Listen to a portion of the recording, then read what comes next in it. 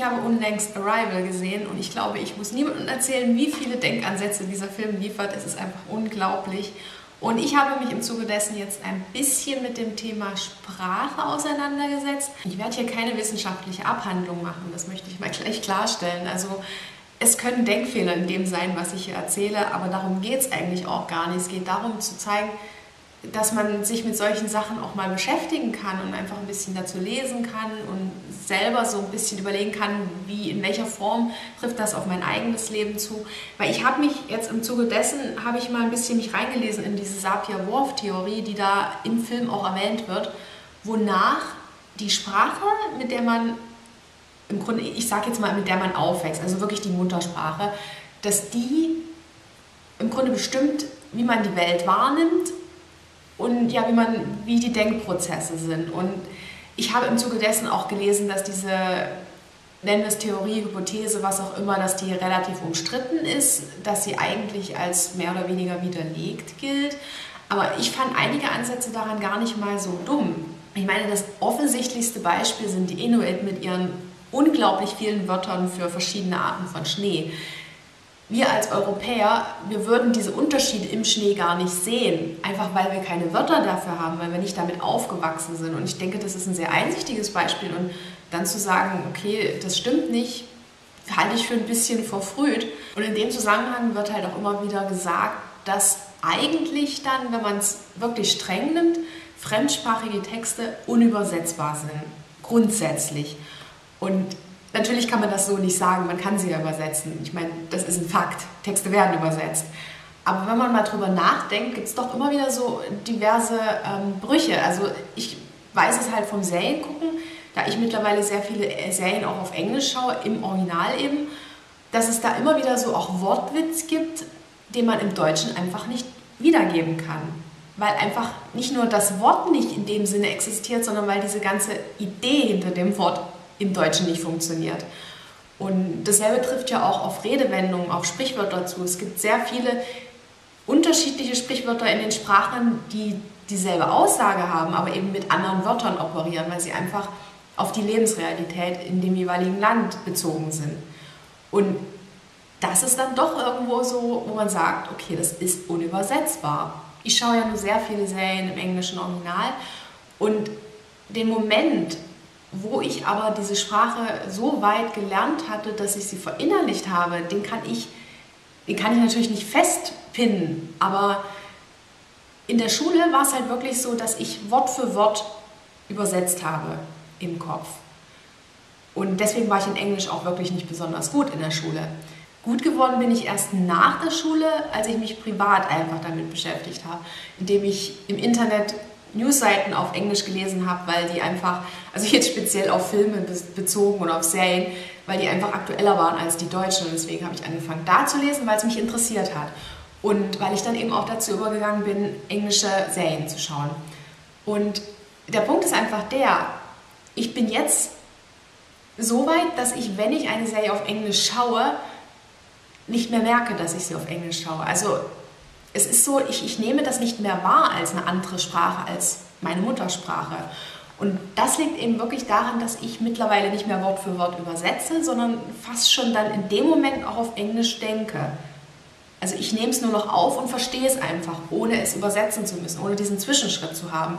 Und das ist, glaube ich, auch das, was im Film thematisiert wird, wenn sie eben diese Sprache der Aliens so weit lernen, dass sie das Denken verändert weil sie dann eben anfangen, in dieser Sprache zu denken. Und ja, also ich, ich kann das aus eigener Erfahrung so berichten. Das ist so. Ich denke auf Englisch, wenn ich auf Englisch Serien schaue. Und ich finde es zum Teil auch unglaublich schwer. Ich mache ja, ich schreibe ja Reviews und habe deswegen natürlich immer einen Notizblock dabei, wenn ich, wenn ich so eine Serie schaue. Und ich finde es teilweise unglaublich schwer, wenn ich sie auf Englisch schaue, meine Notizen auf Deutsch zu machen. Also mir passiert es oft dann so, dass ich zwischendurch mal plötzlich in Englisch übergehe, weil ich einfach diesen Denkprozess gar nicht habe in dem Moment. Und das einfach nur so, wie es kommt, dann einfach rein runterschreibe. Und das finde ich unheimlich faszinierend. Ich bin dann, im, während ich mich damit beschäftigt habe, von irgendeinem Blog dann auch auf den ähm, Podcast Radio Lab gestoßen. Also der wurde mir da empfohlen. Und zwar eine Folge namens Colors. Und die werde ich euch unten mal in der Infobox verlinken, weil die ist wirklich auch für sich stehend unglaublich spannend.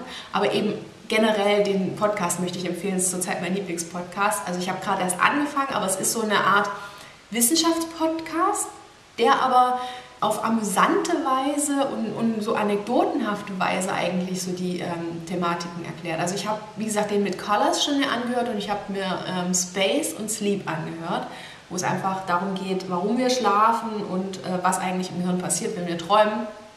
Unglaublich spannend alles. Und das Interessante an diesem Podcast über Farben ist einfach, da gab es einen Wissenschaftler, fragt mich jetzt nicht nach dem Namen, aber der hat sich mit der Ilias von Homer beschäftigt und dabei festgestellt, dass er sehr, sehr seltsame Umschreibungen für Farben verwendet.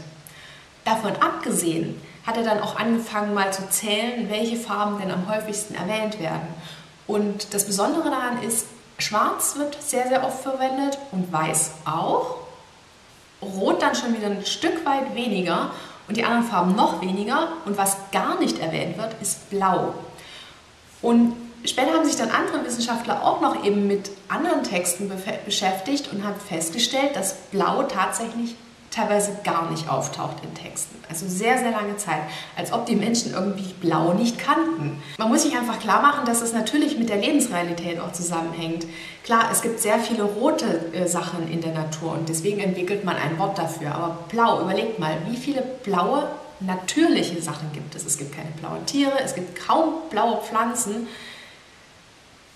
wo sollte das Wort herkommen? Und es gibt dann auch, also es gab dann noch eine Anekdote in dem Podcast, wo einer, ich weiß gar nicht, ob das so ein Moderator einfach nur davon war, der quasi ein Experiment mit seiner kleinen Tochter durchgeführt hat, wonach er ihr zwar die Farben beigebracht hat, wirklich so, dass sie am Ende sagen konnte, ganz sicher, das ist rot, das ist blau, das ist grün, aber er hat ihr nie gesagt, dass der Himmel blau ist.